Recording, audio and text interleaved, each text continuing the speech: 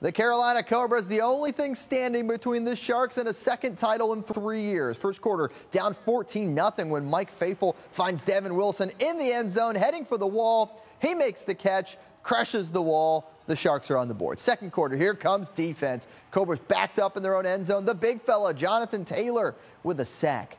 But they weren't done there. It looks so nice. Let's do it twice. Taylor getting to the quarterback again for a huge sack. Fourth down for Carolina. They decide, let's try a field goal from our own end zone. That is a bad idea because it's blocked. And Chris Gilchrist scoops it up, rumbles his way into the end zone for the touchdown.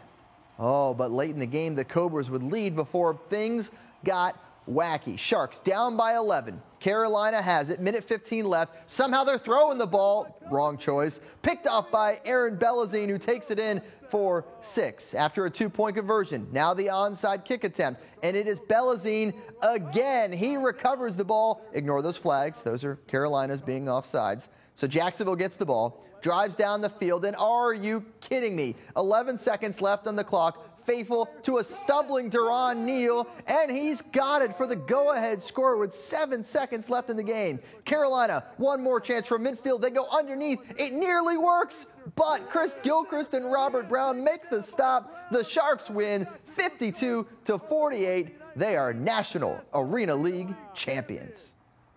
As you see the character tonight, that's what brought us through at the end. It was a hard-fought game. That's what championships are about. Nobody thought we were in here and roll over Carolina for sure they, they fought us to the end, and, and, we came from some adversity, came back and got the W, and that's why we've been winning all season because we never we never waved in adversity at all.